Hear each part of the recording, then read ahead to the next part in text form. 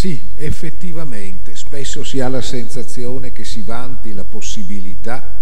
in genere quando si è all'opposizione, di poter decidere perché in realtà si sa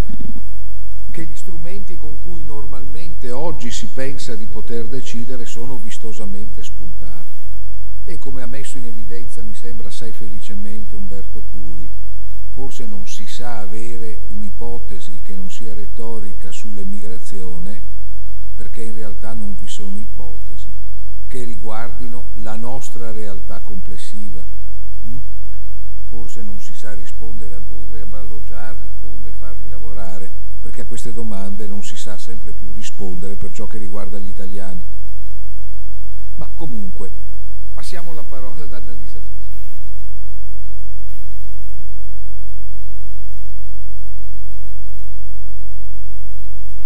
Fischer. buongiorno a tutte, sono felice di essere qua, ringrazio gli organizzatori e um, proverò a, a, ragionare su soggetti e scenari parlando dei figli dell'immigrazione e ragionando sullo scenario delle diseguaglianze crescenti eh, a livello globale e, ed europeo-italiano.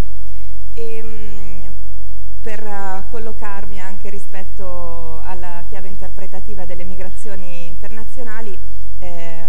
cito soltanto uno degli autori che penso possa essere utile a questa riflessione, ehm, è Salvatore Palida del, dell'Università di Genova che ha scritto questo libro Mobilità umane, ehm, innanzitutto per mostrare, come hanno fatto anche altri colleghi qui oggi, che la storia dell'umanità è una storia di migrazioni, quindi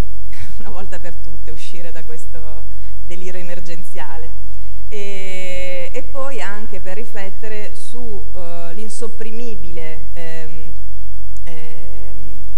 atto politico del migrare eh, come eh, un'aspirazione all'emancipazione sociale, cioè come hanno fatto anche altri cerchiamo appunto di avere una prospettiva un po' più, più ampia e,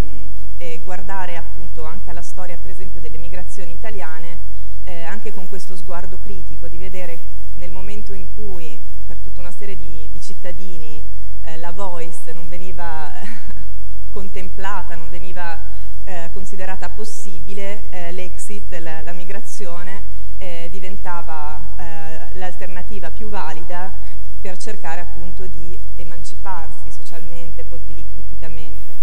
E, e, questo naturalmente riguarda anche le nostre migrazioni interne, no? abbiamo già citato appunto l'importante storia della questione meridionale, dal sud al nord dell'Italia. Quindi con questo sguardo e con eh, anche la consapevolezza che questa aspirazione all'emancipazione sociale non si ferma con uh, chi migra, ma mh, i figli di quelle migrazioni, eh, come hanno anche detto altri, eh, ancora più proprio in, in, eh, eh sulla base dei sacrifici fatti dai propri genitori eh, aspirano doppiamente a questa emancipazione e ehm, ci troviamo appunto in un contesto in cui ehm, a differenza per esempio dei eh, figli dell'immigrazione che nel, eh, nel dopoguerra ehm, erano emigrati appunto i genitori in Francia o in Gran Bretagna si trovavano nei 30 gloriosi con un modello sociale europeo che ehm, riusciva a garantire un certo livello di cittadinanza sociale Invece ora ci ritroviamo appunto nell'Europa della cosiddetta austerità eh, con una, appunto un modello neoliberista che, che viene sempre più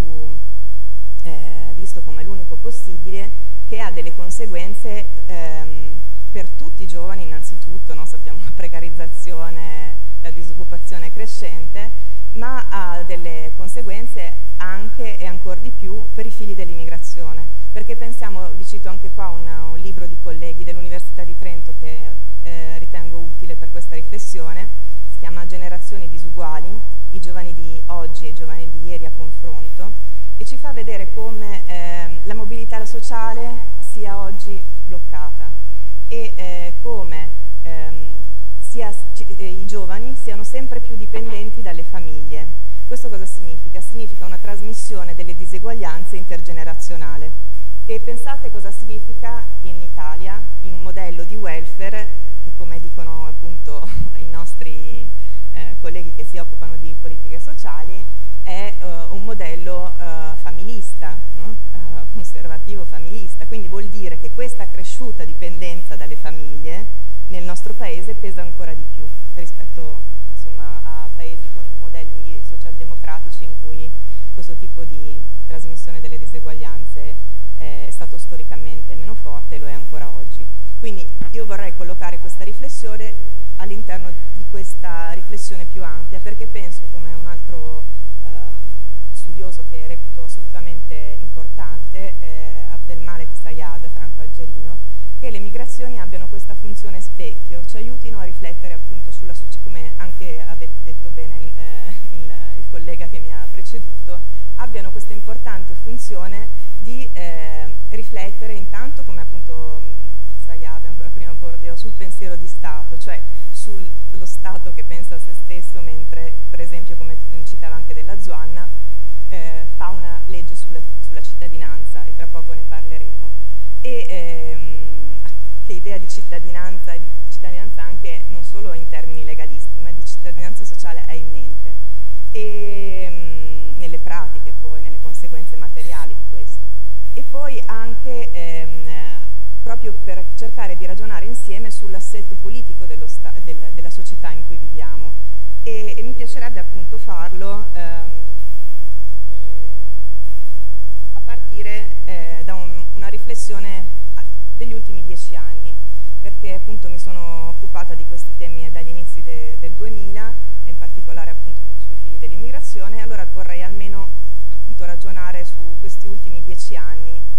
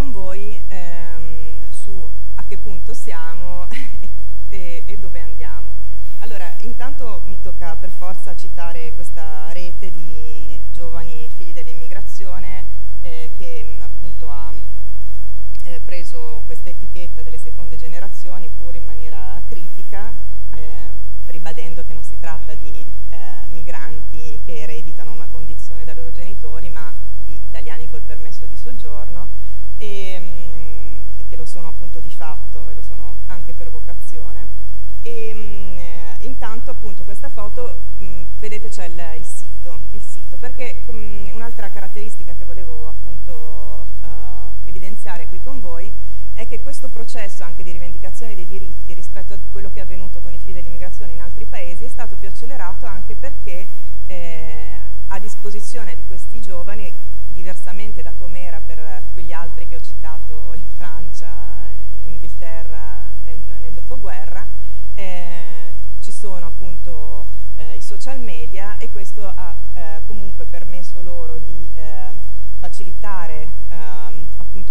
pratiche di autocoscienza collettiva online e anche eh, facilitare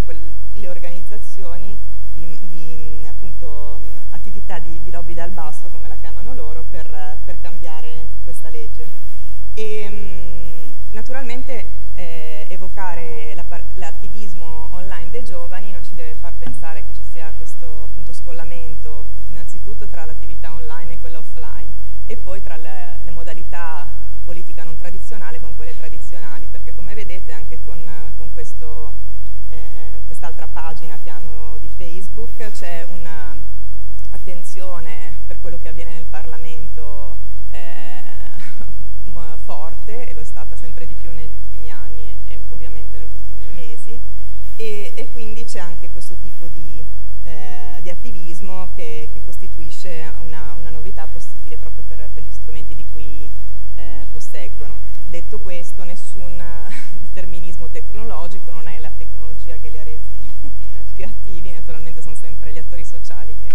di, della tecnologia ne fanno a, alcune cose appunto più democratiche o altre meno, come vedremo tra un pochino. E, mm, e questo mh, per raccontare, voi direte, allora 2005 sono, eh, si sono messi insieme per questa riforma, ora ci siamo quasi, ce l'hanno fatta. Come vedremo, eh, parlando in, appunto su una riflessione sulla società italiana, eh, le disuguaglianze, le discriminazioni e la cittadinanza eh, effettiva, eh, vedremo che, eh, che, si è ancora insomma, in mezzo al guado. E, e questo non solo perché ehm, come l'Italia sono anch'io e altri, la stessa RCTV e, e giuristi che possono farlo anche con più competenze delle mie hanno mostrato quali sono i limiti dell'attuale legge che sta, si spera per essere approvata, ne dico solo uno, eh, ancora una volta al reddito la possibilità di accedere a, a questa richiesta di cittadinanza, cioè se la prendiamo ancora una volta con Sayad, cosa stiamo immaginando? Stiamo immaginando un tipo di cittadinanza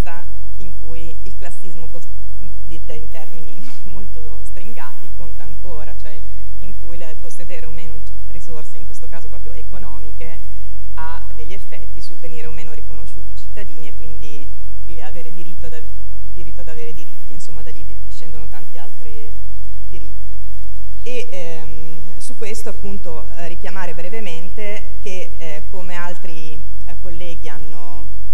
eh, ben eh, evidenziato,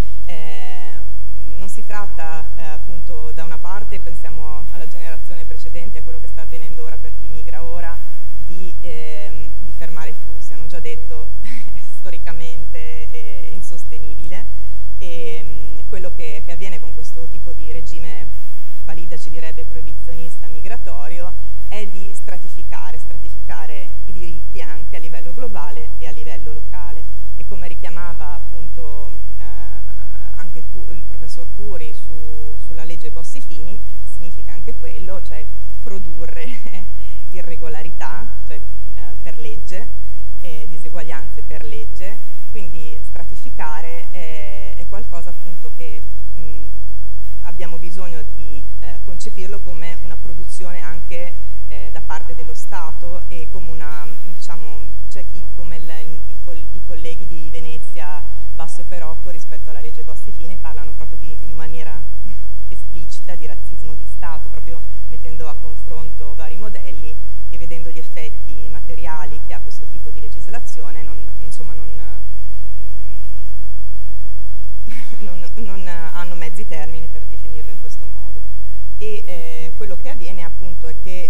rispetto, dicevo, al quadro di prima, no, in cui c'è un quadro crescente di eh,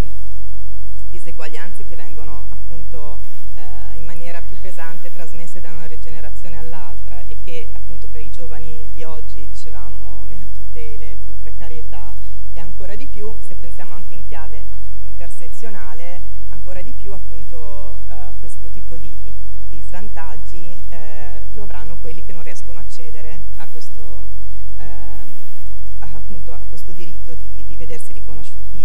cittadini anche dal punto di vista legale. E, e quindi questa è una riflessione su, su, sulle conseguenze di eh, limitare con tutti, insomma, quello che è stato detto anche della Zuanna, con diversi eh, negoziazioni che sono state fatte conflittuali in Parlamento, cioè con la consapevolezza che più restrizioni si mettono, più si sta stratificando dentro appunto eh, questa nuova generazione. Ma io adesso volevo farvi riflettere sul fatto che eh, non è che una volta, allora, eh, idealmente tutto questo milione e passa di eh, giovani figli dell'immigrazione prendono la cittadinanza, inshallah direbbe qualcuno. Però cosa succede? Succede che ehm, non, non, è finita qui, perché eh, ehm, appunto ehm, evocando brevemente diciamo anche la, la, il mio posizionamento rispetto a, alla questione culturale che è stata eh, richiamata da diversi colleghi.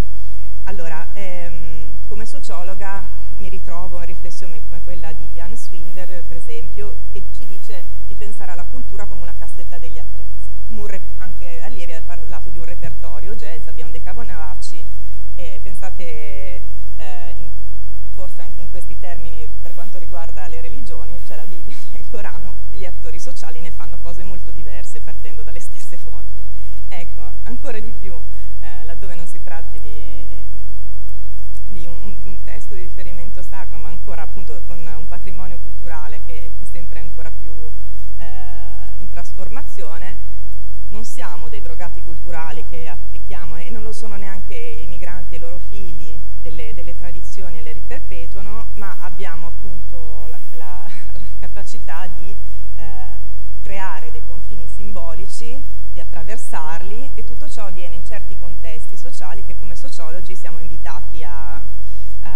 studiare e a capire le conseguenze appunto anche di, di questi contesti sulla facilità o meno di attraversarli, questi confini che, simbolici che ci diamo noi stessi. E, ehm, e, quindi quello che volevo richiamare sono due mm, riflessioni sempre frutto di, di questi studi su, sui figli dell'immigrazione in Europa e in Italia. Uno, che come è anche stato richiamato, la Corte nata dopo gli anni Ottanta, eh, eh, è eh, familiarizzata alla diversità culturale e anche religiosa eh, in un modo eh, che è decisamente diverso rispetto alle corti precedenti. No? Quindi cosa vuol dire? Che eh, in particolare, questo vale per, per, tutti i giovani, in particolare però i figli dell'immigrazione, eh, rispetto a quello che dicevamo di saper usare questo repertorio, questa cassetta degli attrezzi, lo sanno fare molto bene. No? quello che succede appunto è che in certi contesti eh, queste, questi attrezzi diventano anche oggetti contundenti e, e, e ragionare appunto su quando avvengono, eh, anche come vengono utilizzati come risorse politiche e, da chi. E, mh, volevo collocare anche questa riflessione all'interno di una eh, prospettiva postcoloniale, e, mh, perché appunto siccome ho, cercato di inquadrare ehm, questo, sì, questo, tema eh,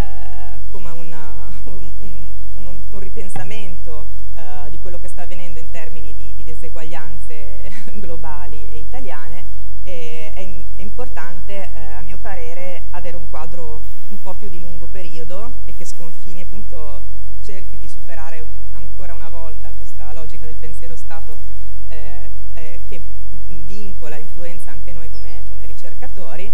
e capire che ehm, appunto per esempio rispetto eh, alle diseguaglianze, no? noi anche i termini che usiamo, usiamo paesi ricchi, paesi poveri, no? magari iniziando a parlare di paesi arricchiti, paesi impoveriti, ci iniziamo a domandare quando si sono arricchiti, come si sono arricchiti, quando si sono impoveriti, no, come, e, e anche insomma in non solo fissa sul presente, ma i paesi arricchiti che si stanno impoverendo, come si stanno impoverendo, i paesi impoveriti che si stanno arricchendo come, cioè avendo questa prospettiva eh, che mh, magari includa eh, eh, il colonialismo e ancora prima lo schiavismo, cioè riusciamo ad avere anche una prospettiva critica su quelle dinamiche neocoloniali, come insomma, il mio collega Guolo non ha detto esplicitamente, ma richiamando per esempio i conflitti nel vicino Oriente, ha parlato di potenze protettrici che si disputano la partita per l'egemonia dell'area, cioè capire anche oggi questo tipo di prospettiva cosa ci può offrire in chiave critica per leggere il presente, con tutte le conseguenze appunto anche eh, sul piano delle migrazioni internazionali. E eh, questo implica anche rimettere al centro il razzismo, no? il razzismo della società europea e della società italiana. Eh, sappiamo che siamo cresciuti, socializzati col mito di brava gente e mh, gli storici, insomma,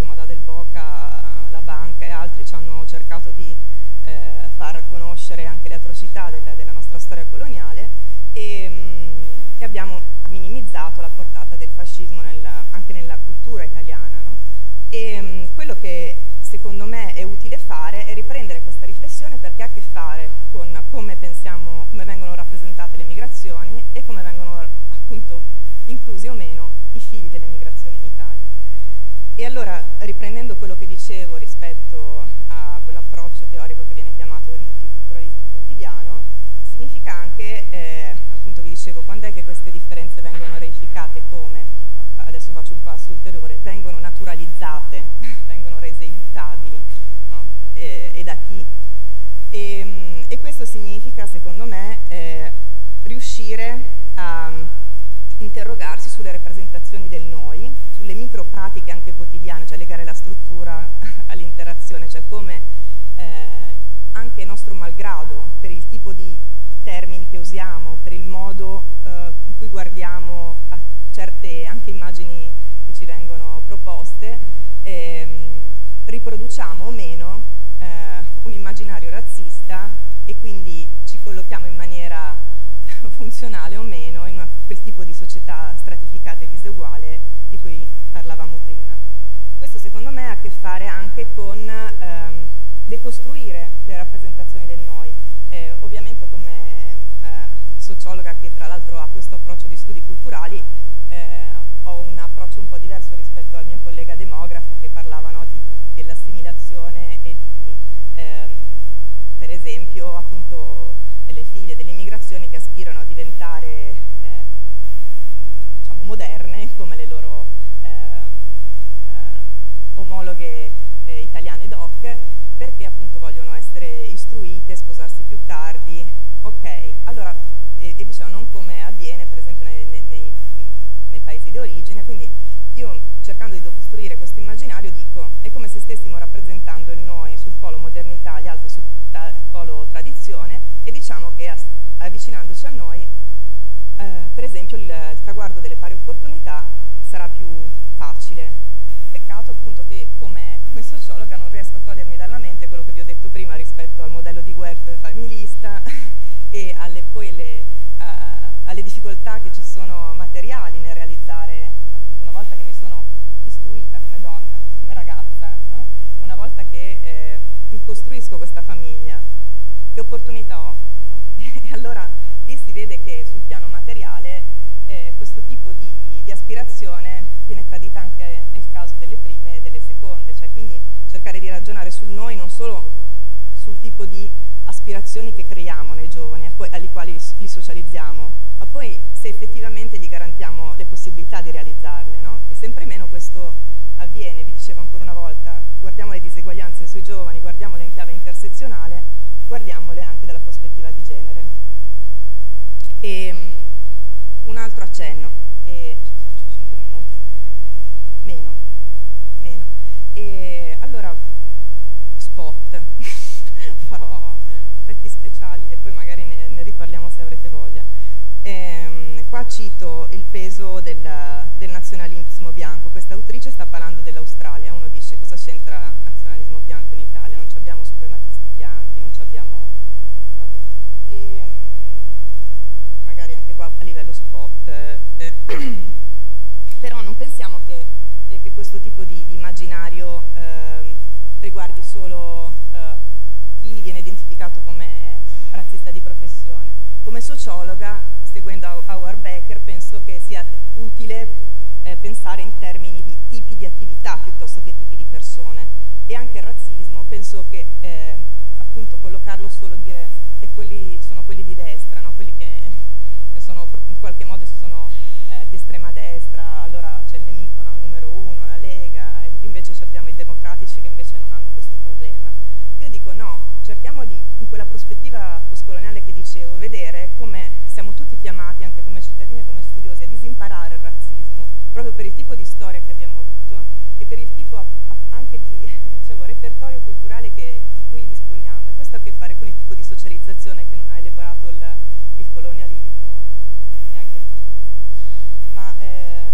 come devo finire? Volevo um, l'ultimo passaggio eh, che ha a che fare un minuto, promesso, che ha a che fare appunto con quello che ho visto cambiare in, anni in cui ho intervistato, ho fatto focus group eh, e altre, eh, ho usato altri metodi qualitativi per cercare di eh, conoscere, comprendere la prospettiva de, dei figli e delle figlie dell'immigrazione in Italia. Quello che ho visto cambiare, che non c'era appunto anche dicevo dieci anni fa eh, rispetto a quello che ho ascoltato e ho visto oggi, è eh, come anche è stato richiamato da alcuni colleghi, no? il desiderio anche dei giovani italiani autoctoni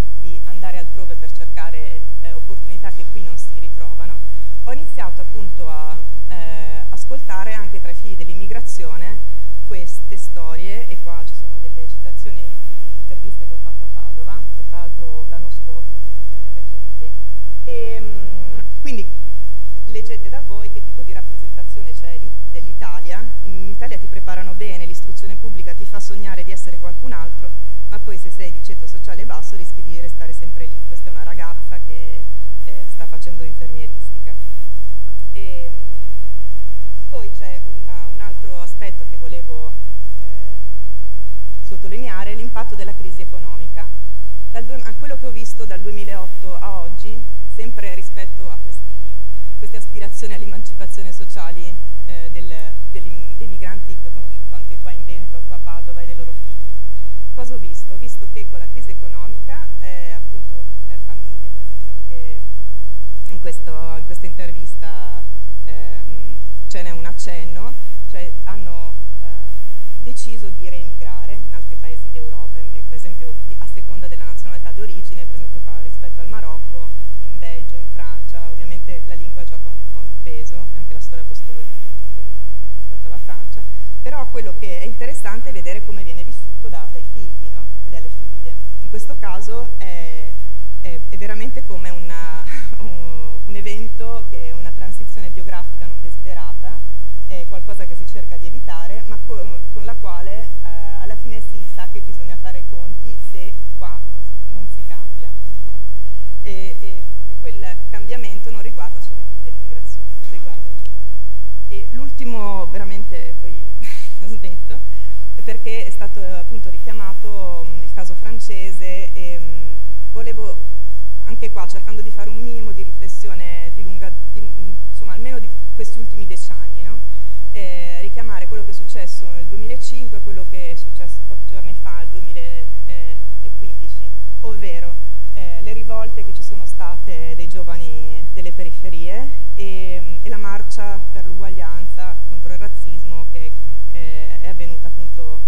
ehm,